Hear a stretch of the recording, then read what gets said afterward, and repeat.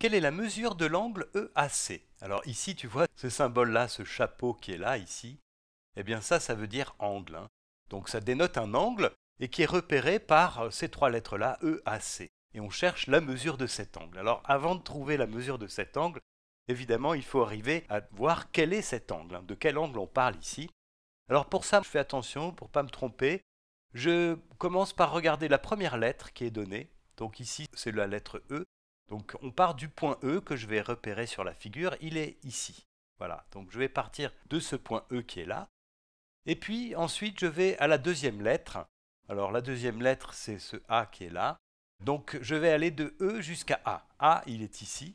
Donc je vais de E jusqu'à A.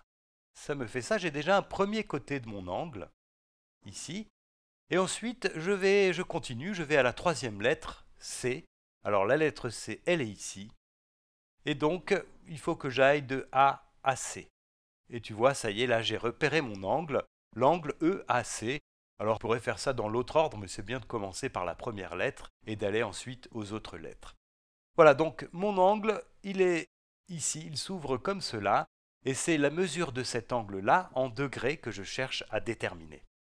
Alors pour mesurer un angle, normalement ce qu'on peut faire c'est prendre un rapporteur, ça tu le sais, mais bon là j'en ai pas, et puis de toute façon j'ai assez d'informations dans cette figure pour ne pas avoir besoin d'un rapporteur et pour pouvoir déterminer quand même la mesure de l'angle sans rapporteur.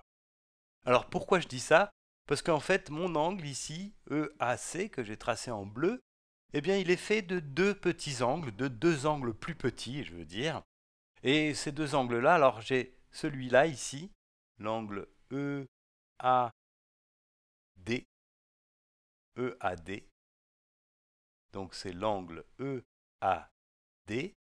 Là aussi, je vais dans le même ordre. Hein. Je vais de E jusqu'à A puis à D. Et puis j'ai un autre angle qui est celui-là ici, l'angle DAC.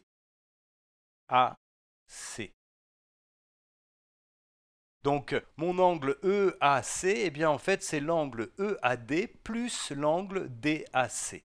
Donc plus l'angle DAC.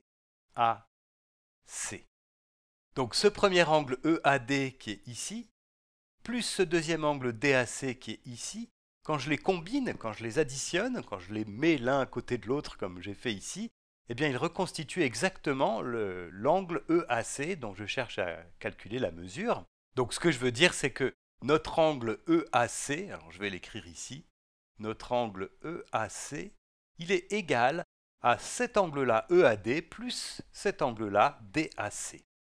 Et ce qui est bien en faisant ça, c'est qu'en fait, on nous donne suffisamment d'informations sur la figure, puisqu'on nous dit que l'angle EAD, sa mesure, c'est 60 degrés. Donc, la mesure de l'angle AD, c'est 60 degrés.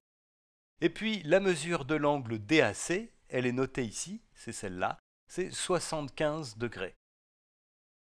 Donc finalement, la mesure de l'angle EAC, ça va être la mesure de l'angle EAD plus la mesure de l'angle DAC.